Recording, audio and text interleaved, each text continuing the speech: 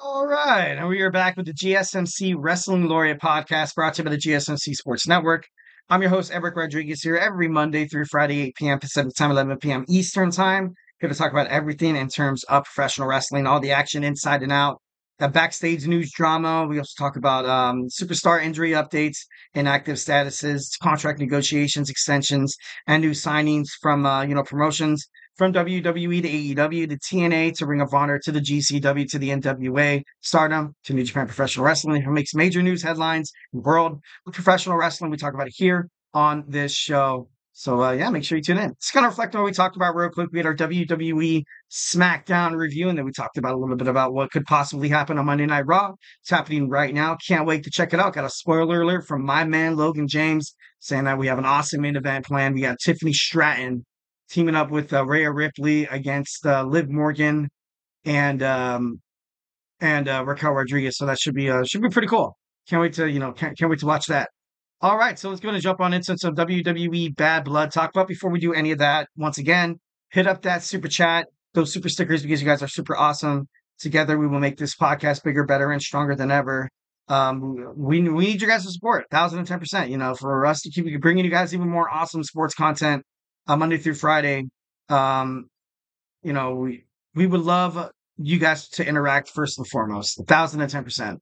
We love that you guys have opinions. We love that you feel comfortable enough to share them on air. That's super cool. That's super awesome. Definitely love and respect that about the viewers. So, uh, you know, hit up that super chat. It's the dollar sign below that chat box. And obviously send it in a super chat. Whatever you put down is going to be guaranteed and featured on the show at 1010%. So don't be shy and hit up that super chat, those super stickers, because once again, you guys are super, super duper amazing.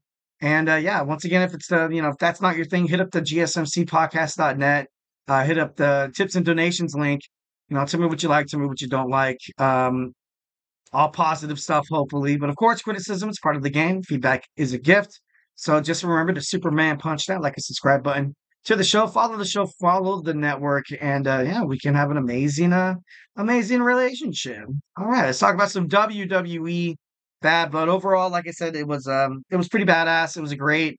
It was you know, especially headed into the PG uh, thirteen, you know, kind of era here. But uh, I don't know. All right, first match we have right off the bat, we had Bianca Belair, uh, Naomi, also uh, Jade Cargill introduced themselves and also introduced this match. Hell in a Cell. Um, I got to be honest. I thought it was. Uh, I thought they they did. Uh, they did good. I feel like they did good. They this was probably a perfect way to end this rivalry. The way the match was, there was blood shed by both superstars, which was an which was a necessity. You know, a lot of Drew McIntyre matches, even back in his career in independent circuit, um, he he doesn't like to bleed. Like you know, which is by all means, you know, um, having that kind of spot. You know, like you know, a lot of people negative publicity about you know cutting also you know real chair shots or you know weaponry to the you know could cause lacerations to the face or any any part of the body to be honest. But this was i think this is the perfect way. That's why if they continue to keep their feud going on raw or Smack, on raw i you know i wouldn't wouldn't like it. I would like one of them to go to smackdown. That'd be pretty cool to kind of have a fresh start. Um like i said on this on monday night raw i'm not sure if any of these uh but if any of these guys are going to be on it, would be interesting to kind of see, uh, to see if they were, you know, their future, what they want to talk about, and what promos they're going to hit. But I thought it was kind of cool to see Drew McIntyre busted open for the first time I've watched him. Got to be honest. Um, there was a good amount of violence, you know, to kind of put this uh, rivalry to bed. Um, I thought they were going to bust out thumbtacks. Obviously, didn't really work out. You saw uh, Drew McIntyre bust out the beads, and I was like, "Oh god, that's crazy." which backfired. You know, obviously he got hurt for doing that.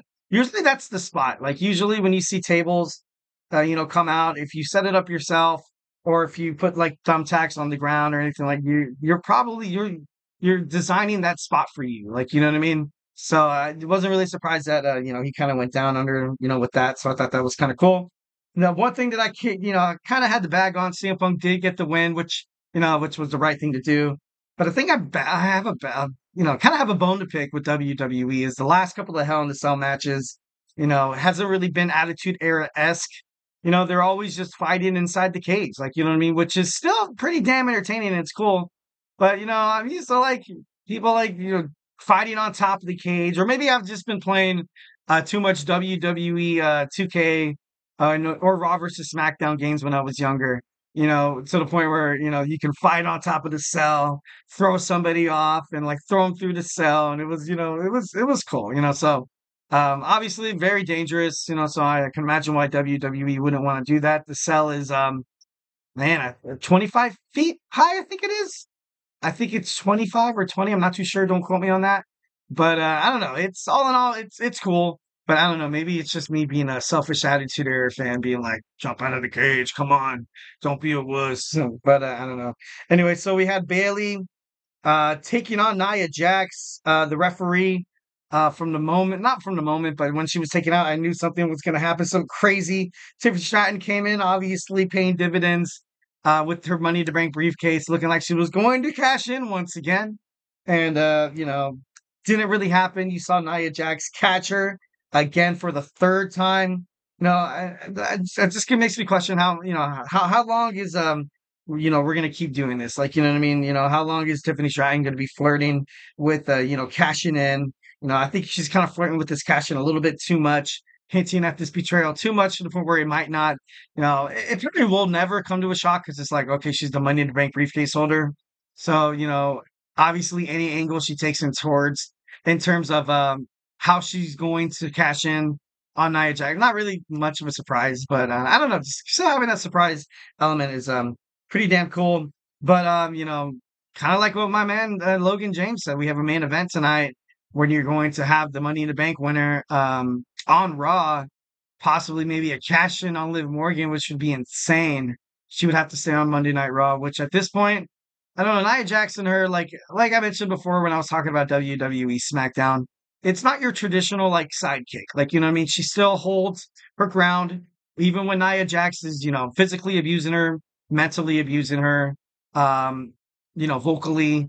She's still able, you know, she still looks at Nia Jax. She's like, fine, keep talking, keep talking. I would say one word, but I can't on air. But uh, you know, um, I think it's gonna be a you know whatever happens. I feel like WWE is doing this women's Money in the Bank thing. You know, right? Obviously, Nia Jax retaining the championship. Poor Bayley once again gets screwed out. Well, not screwed out. You know, obviously there has to be a little bit of you know you got you got to muddy the waters a little bit here. You know. All right, so then we had Damian Priest take on Finn Balor. Um, I gotta be honest. Uh, Priest got the win, which I knew he was going to. Um, Finn Balor, I, I think he looks weak. I think WWE's doing a terrible job with his character. He uh, doesn't look like he can hold a WWE Singles Championship. Like even if he was the Intercontinental Champion, he would look weak. If he was a WWE Champion, he would look weak. And because of that, his tag team with JD McDonagh, their title reign looks weak. So I'm not too exactly sure uh, what you know, what WWE's trying to do with Finn. He came out with a new look. You know, kind of uh his theme song was different, maybe hinting at a potential um, you know, um leaving Judgment Day, which wouldn't be, you know, a giant shock. But um, I don't know. It's you know not really to my liking. It was a good match, you know, but uh, you know then in the news media you find out Damian Priest and Finn Balor both feel like this isn't over. So it's going to be interesting to find out how WWE makes new, innovative you know, ideas or match types or something like that to kind of keep people, you know, on the phone in terms of, um, you know, when is this going to end? Is Damian Priest going to um, de- develop a develop a crew to take on the Judgment Day at um at War Games? So I don't know, should be should be pretty crazy. All right, um, uh, just kind of briefly kind of go over it. Um, we had uh, a Triple H announced um, that uh, the titles aren't going to be up for grabs at Crown Jewel. There's going to be champion versus champion, the women's and the men's. Um, you know, but they're going to get a shiny new belt, which is which is cool, I guess. Uh, you saw Gunther come out to talk about it with Triple H. Then Bill Goldberg interrupt, not interrupted, but he was forced out of the stands once again, flirting with the idea that Bill Goldberg's going to return to WWE and challenge Gunther for the WWE World Heavyweight Championship, which all in all is mm, not really my cup of tea. But let's talk about this match. We had the WWE Women's World Heavyweight Championship match between Liv Morgan and Rhea Ripley with Dominic Mysterio hanging in a shark cage. Um, I, I thought it was kind of crazy. Usually the shark cage is hung up of, above the ring. Uh, it wasn't uh, this time, which is uh, you know was kind of different. Um, uh, the shark cage.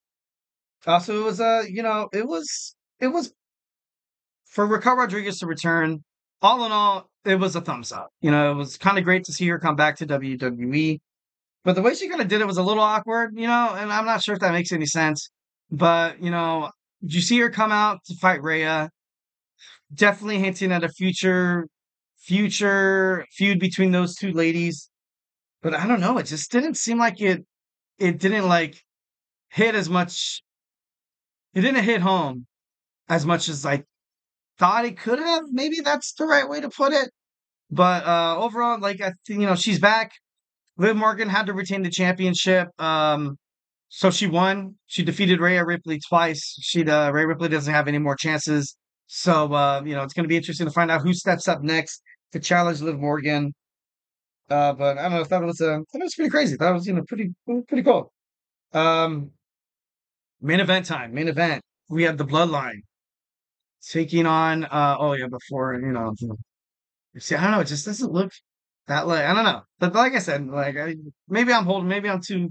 Maybe I'm too close. Or maybe I wanted Raquel Rodriguez to come back in like a like a bigger like I don't know. I don't know. But uh, anyways, uh, so we had the Bloodline taking on Cody Rhodes and uh, the OTC Roman Reigns. Uh, this was pretty cool. I, you know, the the University of Arkansas, their marching band came out and they performed. Um, you know, they uh, with uh, Cody Rhodes who came out with the mask, which was different. I was like, all right, that's cool. Um, you saw the first time uh, referee. Wait, first time ref. Uh, they brought up, um, you know, um, hold on. First time they brought. Oh no, it's kind of crazy. Uh, they brought up the John Cena win about the whole Solo thing, which didn't really make sense to me because I was like, more or less bringing that up. I think causes a little bit more, you know, scrutiny and negativity towards Solo Sikoa's name than actually like, you know, uh, solidifies it or you know causes or causes it glory and stuff. But um, all in all, I thought it was it was a good match. It was a great match. A lot of tag team, a lot of uh, people you know, thinking that Roman Reigns was going to stab someone in the back. Obviously, you saw Tama Tonga Tungaloa get involved. Then Jimmy Uso returned. And once when he thought it couldn't get any better, then The Rock, the final boss, is back in WWE. Came out, looked at uh, Rhodes, looked at uh, Roman Reigns with just like, kind of like disgust. Like, you know what I mean? Like, he was like, these two clowns, you know, that's why he was never the tribal chief, and that's why I'm going to take this guy's WWE Undisputed Championship away from him. Uh, in the crowd, Solo Sikoa was caught on social media. Somebody recorded saying that, um, you know, it was uh, saying Solo Sikoa muttering to Jacob Fatu that it's all part of the plan when The Rock came out. So, you know, once again, hinting at the final boss is, uh, you know, pulling the strings behind the whole Solo thing. I feel like Solo will step down and The Rock will reclaim uh, the throne of the tribal chief, which is, um, you know, which is the right which is the right storyline. That's a that's what I would do with thousand and ten percent. But I don't know. It was kind of crazy. Like I said, he came out and it was you know caused a lot of like everybody was excited. Like all over wrestling media, it was just it was cool. You know, you love seeing The Rock. Every you know, you love every single time you can see The Rock on uh, WWE. So I thought that was uh, super cool. He came out like a freaking oh my god, and he just looked disgusted. He just looked absolutely just like really is this what the bloodline has come to once again? The Rock has to come, clean up other people's messes, these jabronis or something. Just kidding, no. But uh, I don't know. Uh, maybe he could have said that. Maybe he could have said that. All right, guys, don't go anywhere. We're going to talk about our fourth segment what happened after WWE Bad Blood went off the air. We're going to talk about Kevin Owens' attack on Cody Rhodes and the potential well, not really a potential heel turn because I'm pretty sure that's what WWE's kind of uh, you know, making serious uh, with this whole attack thing. But we're gonna dive deeper into it uh, when we come back. So hey, do not go anywhere.